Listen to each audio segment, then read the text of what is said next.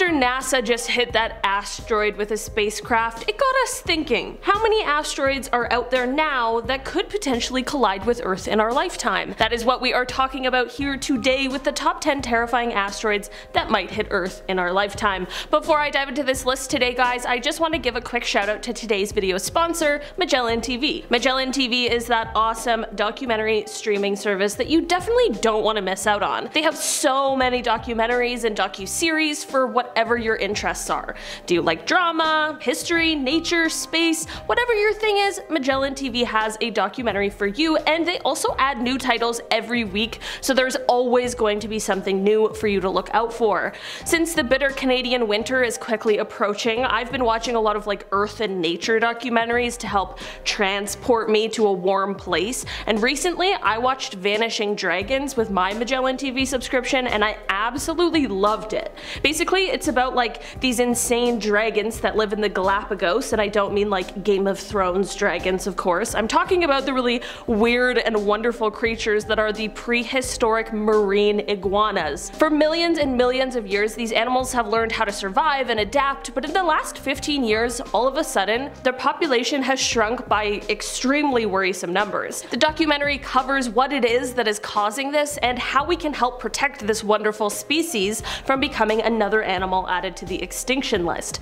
It's a visually stunning documentary, but it also really opens your eyes to like a completely different world, the life of these real life dragons. If Magellan TV sounds up your alley, which come on, how could it not? The good news is that now is the perfect time to check them out. Magellan TV has decided to give most amazing top 10 viewers a free one month trial to check out their service, and all you gotta do is hit that link in the description box and head over there to start watching. It is for a limited time only though, so don't wait around, hit that link and enjoy. Starting off this list in our number 10 spot, we have 1997XF11. We all know, or at least have heard, that the dinosaurs were wiped out by an asteroid hitting Earth. If an asteroid were to hit Earth now, there is a good chance it would have a similar effect, but of course on humans. There have been dozens of asteroids that have nearly missed Earth, and a lot of them have been known and had their paths calculated beforehand to ensure our safety. But there have also been a lot of near misses that weren't seen until right before or sometimes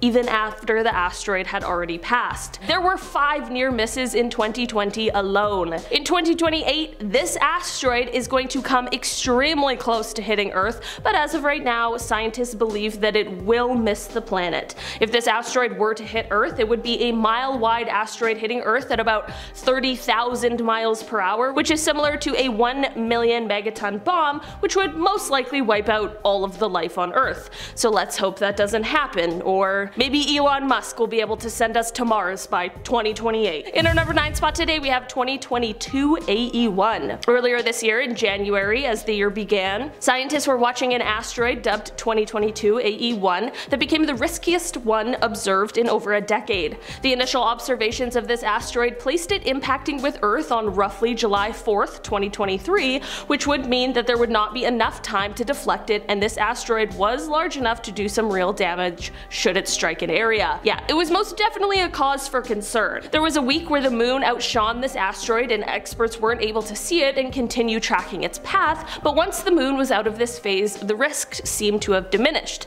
As of now, this asteroid has been taken off the risk list, but who knows? It seems as though things can change quite quickly and unexpectedly outside of the cozy home and protection of our atmosphere. In our number 8 spot today we have 99942 Apophis. This little asteroid has a diameter of about a fifth of a mile and it is currently sitting at number 3 on the Palermo scale. This is something that I'll probably refer to again today so let's just talk about it real quick. The Palermo Technical Impact Scale is a scale that is used by astronomers to rate the potential risk and hazard of impact of a near-Earth object or an NEO. It used the combined information and data of the probability of impact coupled with the estimated kinetic yield, which basically just shows us how likely and how badly an asteroid would mess us up, re the dinosaurs. So back to Apophis, this asteroid is at rank number 3, so it's the third thing we gotta worry about. When it was discovered in 2004, astronomers gave it a 1 in 60 chance of striking Earth in May of 2029 on Friday the 13th of all normal days. If it doesn't strike Earth, with the naked eye we'll be able to see it pass at a distance of roughly 8,600 miles,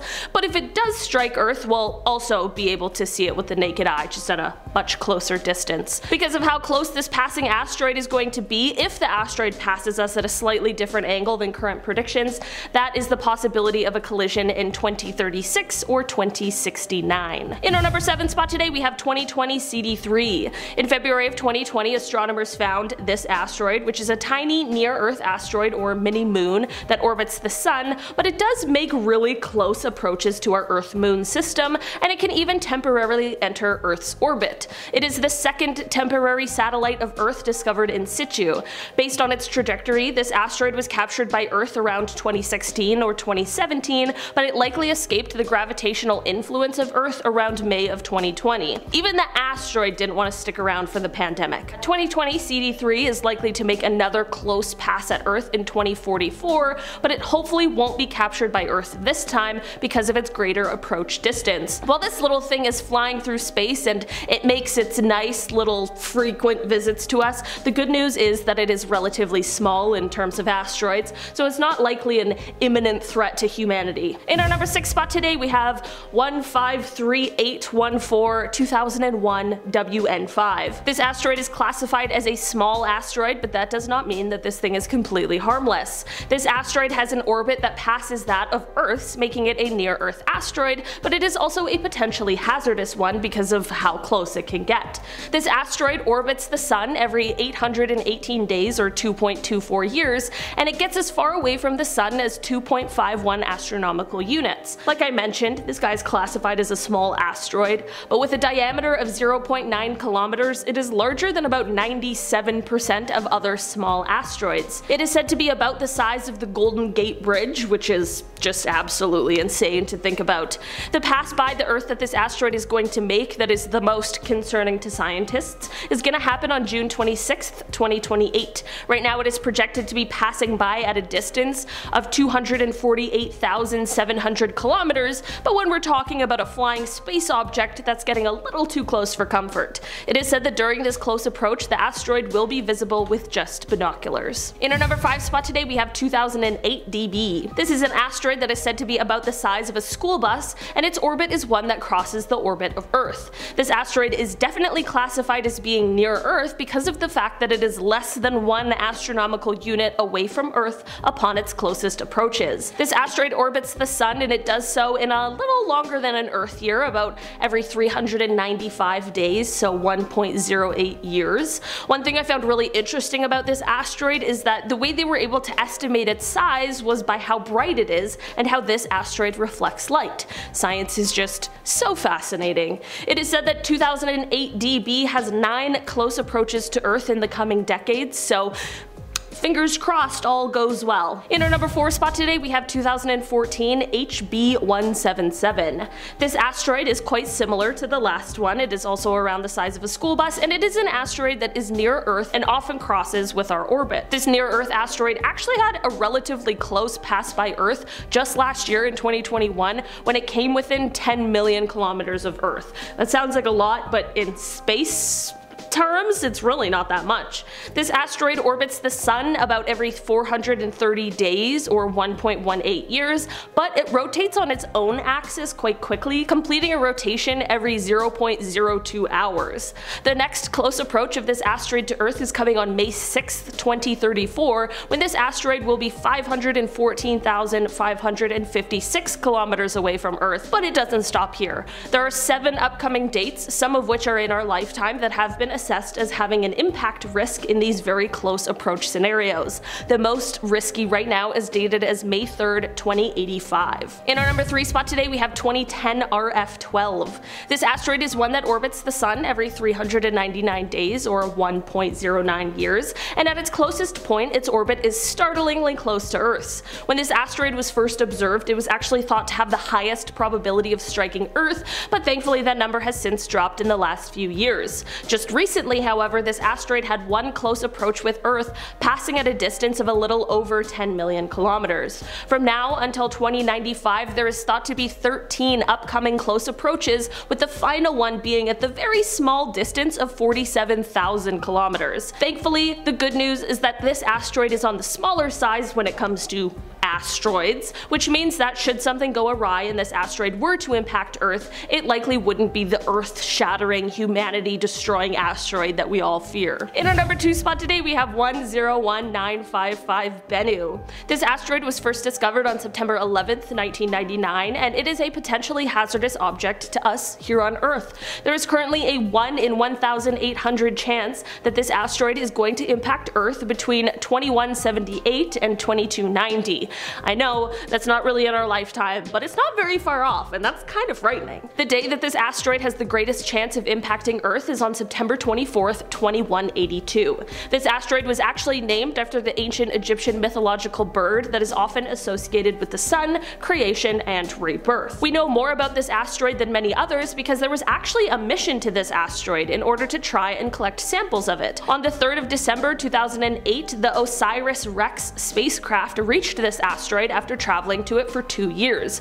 Not only did it orbit it for a while to map it out and get its measurements, but in 2020 it landed on the asteroid, and last year, in May of 2021, it departed from the asteroid carrying a sample of it. Maybe next year it will return to Earth and help us learn even more about the history of this asteroid. In our number one spot today we have 2021 QM1. This asteroid was first discovered on August 28, 2021, and at the time of its discovery it wasn't of much concern, but follow-up observations revealed something very different. It suddenly rang alarm bells that it might be on a path to a near miss with Earth around 2052. This asteroid is measured at about 50 meters in diameter, which is said to, should it impact Earth, be the equivalent of about 6 megatons of TNT or 400 times the strength of a nuclear just not very good and very obviously of concern. To make all the nervous scientists more nervous, shortly after discovery this asteroid disappeared behind the sun out of their view.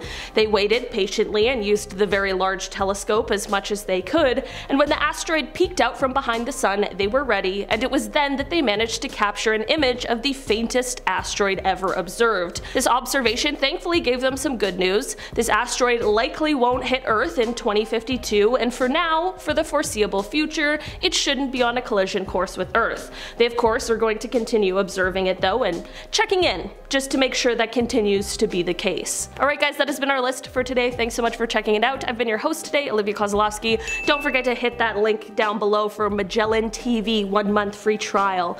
Bye!